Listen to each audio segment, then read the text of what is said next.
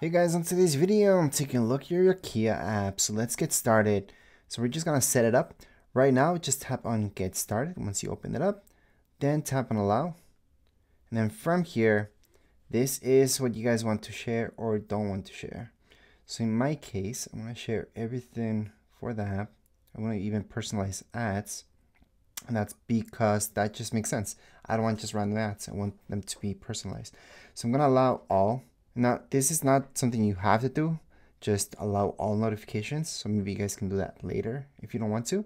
From here, I would highly suggest to log in and don't just skip this by putting maybe later down here below. Go ahead and actually log in. So that's gonna take you right here and then just sign in with your email.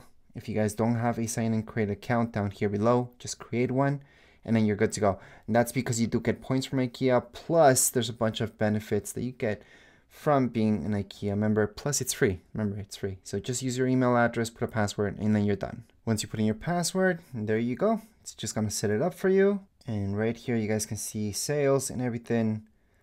You guys can use the app for a lot of things actually. On the top right hand side of your screen, you're gonna see notifications. Just tap there. Once you see notifications, you guys can just enable them or just tap away from there. You don't have to do that.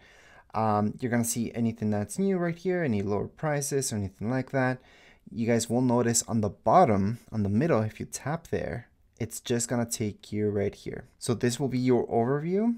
Plus, if you tap on your IKEA, that's the second button, well, second choice, you guys can see anything that you saved, anything that you were looking at. Now that you're right here on the top right hand side, very top of your screen, you're gonna see notifications plus that gear icon, tap on the gear icon. On the gear icon, this is where everything takes place. So your personal details, delivery invoicing address, purchases, anything that you want will be here. So if you guys want to change anything or add anything, this is where to do it. And if you want to check out on the bottom, right inside, all the way in the bottom, right, all the way in the right, that's going to be your checkout. So you guys can go ahead and say, got it. And then from here, you guys are to see anything that maybe you were looking at. You guys can just continue, add more stuff, and then just buy anything using the app itself. So it's to be almost the same thing as using their website to do this. Then we have our home on the all the way on the, the bottom of the app. You guys will see the home app. And this just for you guys to explore what's trending, what maybe is uh, something that you may like particularly. But anyways, as far as this video goes, that's it. That's you guys can set this up and use the app. If you guys have any questions, comments, you guys can write down in the comments area. Don't forget to subscribe and like. Thank you.